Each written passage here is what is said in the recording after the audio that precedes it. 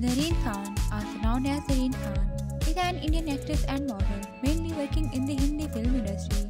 She has also appeared in Punjabi, Telugu, and Tamil films. Khan made her Bollywood debut in 2010 playing a princess in the epic action film Veer and subsequently appeared in the popular item number character Dheela in the 2011 comedy Ready.